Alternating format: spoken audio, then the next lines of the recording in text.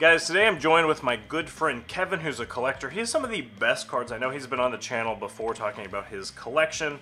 Today we're talking about his number to 99 National Treasures Jordan Love and what he should do with it. He's a big boy collector, but we're going to make some bad decisions and impulsively buy something really fast today because that's what we do. So we subscribe to Arena Club's newsletter. We've always followed the company and they've really pivoted. Let's go to the site real fast. When we first discovered Arena Club, they were basically a grading company. And now they grade cards, but it is the third tab on the website. And now they're like a marketplace for selling slabs. And the biggest thing they've been pushing is these slab packs. They send out 35 emails a day on days where they do a drop with these slab packs. So what are we gonna do, Kevin?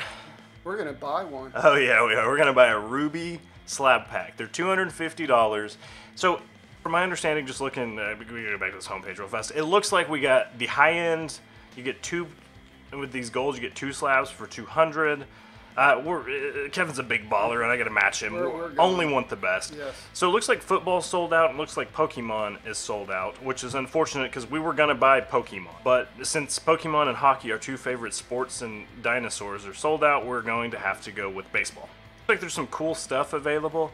I'm a little bit confused. How many times have we read this page? Yeah, I still don't understand it. But, So- hey, I think from from my understanding, it says like you're not getting a physical card. We know that for a fact. You get a card, you buy this, you unwrap it, you get some kind of card. Figure out what it's worth, and then if you want the card, they can ship it to you or they can store it for you, right? But this is the interesting thing this checklist here. So here's the big boy card this Jackson Merrill number to 5 Bowman Chrome 2022 Prospect Auto. That's the card everybody's chasing. If I was them, I wouldn't hand it out this early. I don't know how that works, but like as soon as this is handed out, then the value of the cards fall quite a bit. And then you got everywhere down to these like tier 3 cards. It says this is updated in real time.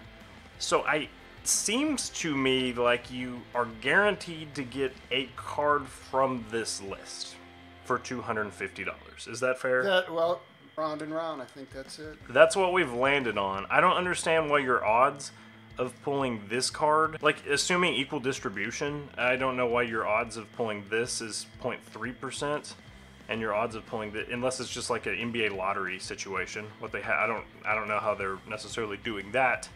Uh, but we're hopefully gonna hit a card that's worth around two hundred and fifty dollars. So here, let me give the Kevin collecting story. I was like, man, you should buy some sports cards. Here's a cool Joe Burrow autograph that would be it's like a five hundred dollar optic bronze autograph, and it was spelled wrong. His name was spelled right, right, so I was like, you can immediately flip it. And then he texted me like two weeks later. He's like, I just bought this one of one Joe Burrow rookie autograph, and he has like one of one rookie autographs of basically everybody who's a starting quarterback in the NFL, including Sam Darnold right now. Make your MVP case for Sam Darnold. Oh yeah, he's he's he's there. It's over. It's done. He's off this week, so he can't. He can't can't fall. crater. He can't crater. He tried to turn into a pumpkin last week, and then He was injured. Come on, come on. like some of these tier three cards. Even these cards are worth fairly close to. Well, I I don't. think the half a dozen we looked at, there was only one that was under two hundred dollars. Yeah, they were all reasonably good cards. So, for example, this Mint 9 auto of Bregman. This one, I tried to grab something that I figured would be worth quite a bit less, honestly. But, yeah, this one's not very good. I mean, 160. That's the numbered version. This card's not very good. That's numbered as well. So, we're to say $160 for this 9 if we were to pull that. But even like this bottom tier, that's kind of what. There's a Jackson Holliday autograph in tier 3. Like that's a good card. To be fair, we're paying two hundred fifty dollars for it, so so this this is a tier three Jackson Holliday card. Uh, it looks like it's worth two ten. That's still auctioning too. Yeah, my I was trying to see if it was. Yeah, I don't know. It seems like this is weird. To, no, this one's sold. This one's finished, but it's still sold for two ten. and it was raw.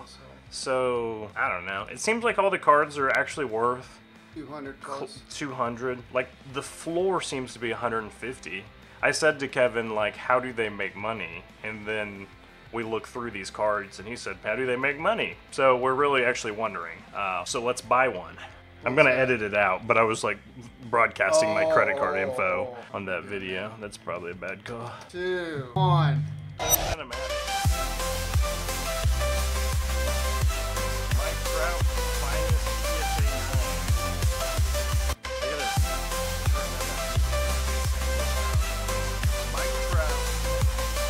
music. I mean, as a Mike Trout rookie, I don't know. I have no feel for how much this card's worth. It has to be one of the lesser ones. Mike Trout, finest, PSA 9, rookie. All right, it is worth $200 best offer accepted. It's not numbered. 150, 130. So, yeah, we hit the floor there. That's to be expected. That's kind of how it goes. So, there's our Mike Trout that we just bought. And we can, I guess we can do it as an auction on their marketplace if we wanted to. So, Yeah. that par- probably is easier than it coming to us and then listing it on eBay. Yeah. All the hits are legit. So let's look at the percentage. It- was there enough? It was two point three three. I mean, Yeah. it should change a tiny Maybe. bit. Yeah, Yep. It did. Yeah, it did. It updated.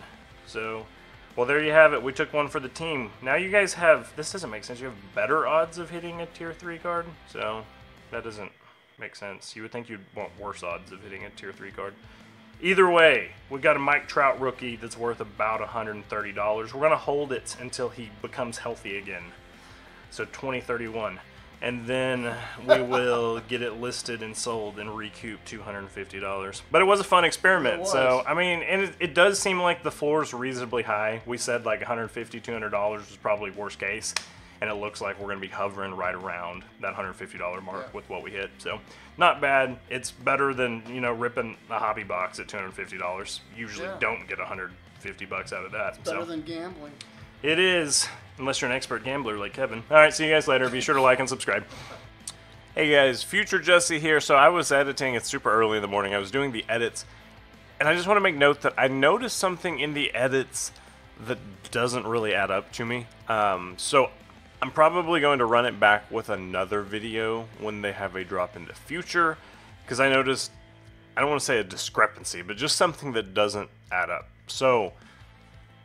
I'm not endorsing the drops. We had fun, but I do want to make sure uh, the math checks out before anything else. And I can't pretend like I still understand how all the percentage things work. I'm going to do some reading, do some studying, but I do have another video on this topic coming.